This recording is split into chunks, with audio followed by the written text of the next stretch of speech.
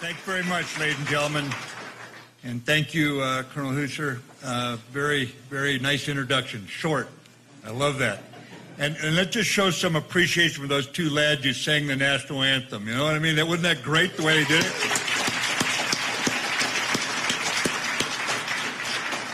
You know, General, they, I couldn't sing or dance. They put me in the infantry, you know?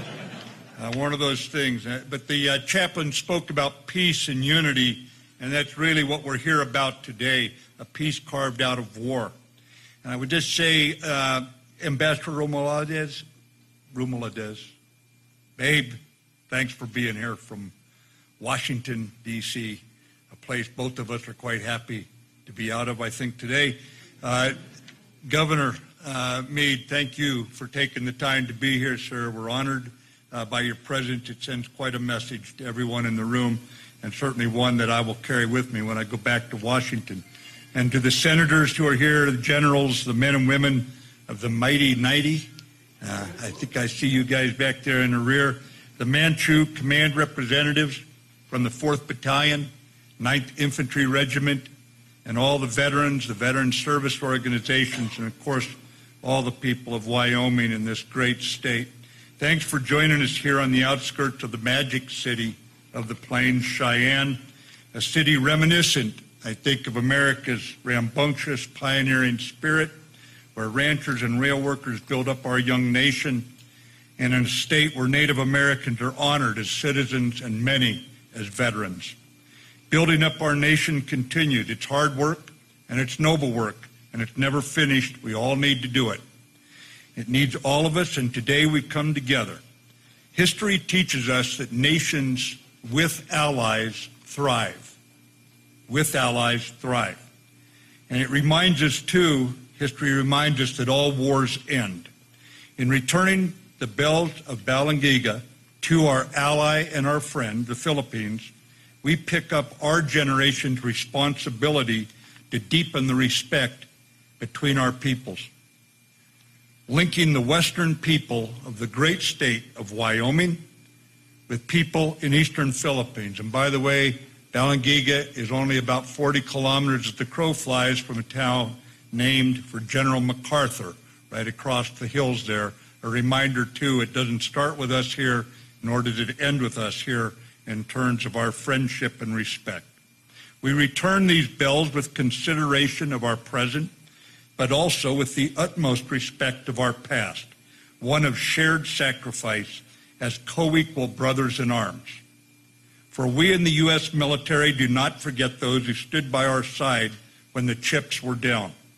We do not forget the Filipino soldiers and people, the Philippine scouts, who fought with us, bled with us, and died with us in the dark days of World War II in the green hell of Bataan, on the rock we call Corregidor, on islands and in landings from Leyte to Luzon. We do not forget our shared sacrifice in Korea, where in 1951 at Yultong, the Philippines 10th Battalion Combat Team, those surrounded, held their position against the Communist Chinese onslaught, allowing the U.S. 3rd Infantry to escape the trap. We do not forget how the Filipino people organized doctors and nurses in Operation Brotherhood in Vietnam to support us. We recognize how the Philippines stand with us and stand with us today in the fight against ISIS, against terrorism, a scourge that has struck them as well as our own country.